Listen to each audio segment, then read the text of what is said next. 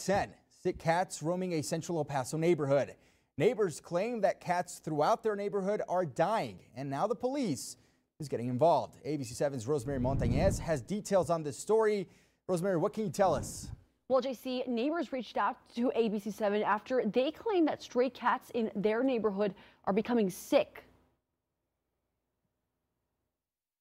Very chaotic, very, it's like a nightmare. Something that you just don't expect. Residents in a central El Paso neighborhood are calling it a nightmare after what they claim is a passerby harming the neighborhood cats. Ricardo Leon tells ABC7 that at one point there used to be 80 cats roaming his neighborhood. Now, only a few remain. Day, this has been going on for several days now.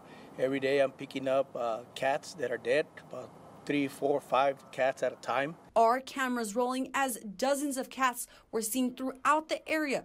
Leon, who has cats of his own, explains what it's been like seeing the healthy animals become sickly creatures.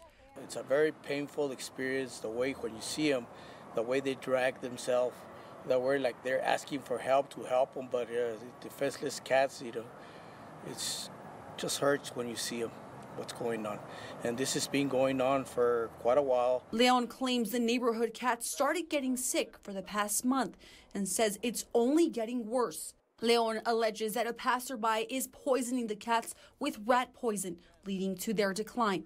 And now he suspects that his own cats have been affected. I've got personal cats that I got one that's sick. And also my sister, one of her pets, cat died. And uh, it hurts.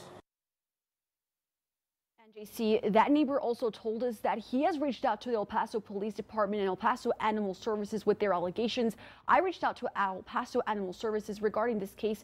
They tell me this is an ongoing investigation. They couldn't provide any further information, but they did say that more details are set to emerge on this case. Back to you. All right, Rosemary, a disturbing case there out of central El Paso. Thank you for that story.